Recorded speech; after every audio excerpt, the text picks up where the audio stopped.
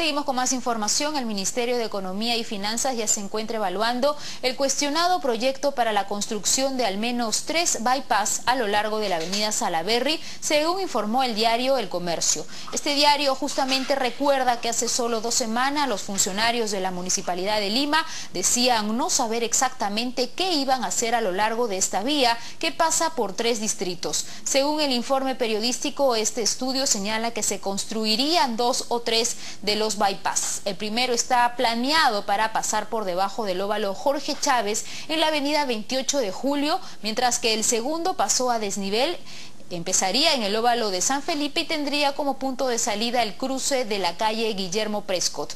El tercer posible bypass tendría su inicio a la altura del cruce con Sánchez Carrión y terminaría luego del cruce con la avenida Javier Prado Oeste. El alcalde de San Isidro, Manuel Velarde, aseguró que no permitirá que la Municipalidad de Lima construya los cinco bypass que tiene planeado en su distrito. En Canal N afirmó que Luis Castañeda representa un modelo de ciudad caduco y su proyecto es cortoplacista y solo creará un espejismo de solución. Velarde señaló que la construcción de los cinco bypass en San Isidro es una consecuencia del fracaso del bypass de la avenida 28 de Julio y argumentó que esas obras solo trasladan la congestión vehicular a la siguiente cuadra. Manuel Velarde afirmó que Luis Castañeda representa un modelo de gestión caduco y su proyecto es cortoplacista. Y eso es lo que tiene que eh, hacer Lima Metropolitana, es comenzar a pensar de cómo se soluciona el desplazamiento de las personas en la ciudad y no tratar de gastar mucho dinero en obras que tienen un impacto cortoplacista. ¿Por qué? Porque al final de cuentas esas obras lo que van a hacer es generar más el uso del automóvil y por otro lado también hay una afectación de áreas verdes, hay una afectación del entorno urbano y del el valor de las propiedades, más autos, más contaminación y entonces ese tipo de obras ya no se construyen en ninguna parte del mundo. ¿Están desfasadas estas obras? Completamente y, y aquí yo quiero ser muy claro, el alcalde Castañeda representa un modelo de ciudad caduco, anticuado, que no eh, le presta atención al 85% de la población que se desplaza en Lima Metropolitana, por ejemplo. Manuel Velarde aseguró que no permitirá que la Municipalidad de Lima construya los cinco bypass que tiene planeado en su distrito. Estos cinco bypasses que se pretenden hacer en Salaberry simplemente son la consecuencia del fracaso del bypass de 28 de julio. ¿Por ah. qué? Porque uno de los problemas de los bypasses es que el cuello de botella del tránsito de la congestión se desplaza a otro punto.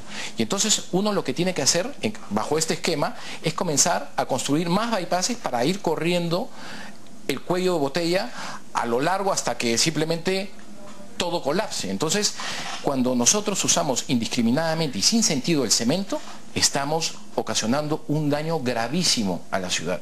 Y entonces yo espero que eh, el Ministerio de, Economía eh, eh, vea esto con mucha atención, porque lo que, digamos, si estos proyectos se dan, realmente va a haber un problema muy grave, pero desde, desde mi punto de vista como alcalde de San Isidro, yo no voy a permitir que esos bypasses o esos viaductos que se están proponiendo sean construidos en mi distrito.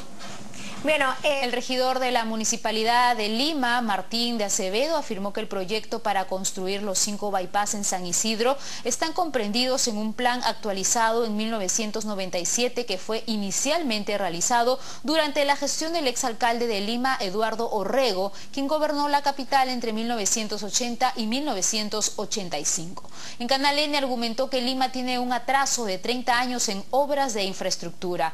En otro momento de Acevedo aseguró que la construcción de los cinco bypass aliviará el caos vehicular que producirá el incremento del parque automotor en la ciudad, hecho que no se puede evitar en un estado de libre mercado. De Acevedo afirmó que el proyecto para construir los cinco bypass en San Isidro están comprendidos en un plan actualizado en 1997.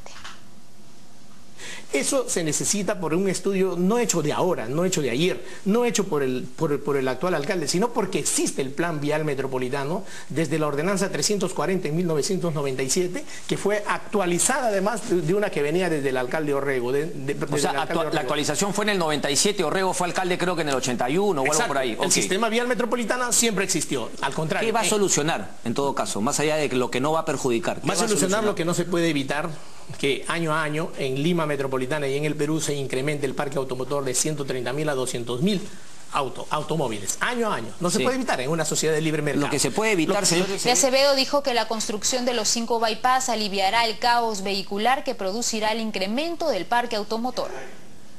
Entre otros problemas que se deben en Lima es que tenemos un, atraso de más o menos 30 años en obra de infraestructura. No lo dice eh, el, alcalde, eh, pero, nuestro alcalde Castañeda, lo, trata de Pero ustedes viajan al mundo y ya nadie hace bypasses, los bypasses los desarman en el centro de la ciudad. En aquellas ciudades donde ya existieron como solución en su momento, como Lima, Medellín, Bogotá, Sao Paulo, México DF ha pasado por este problema. O sea, o sea primero hacemos los bypasses y después llegamos a la solución de desarmarlos. No, no, no. O sea, usted me está diciendo que cuando transcurramos por ese camino vamos a desarmar los bypasses que hoy construimos. Usted está diciendo que se han desarmado. No, usted me está diciendo, se han desarmado. En muchos países se están desarmando justamente el tema de los Pero bypasses. ya solucionaron el problema en su momento. Ya, pues, ¿y por qué entonces no lo solucionan?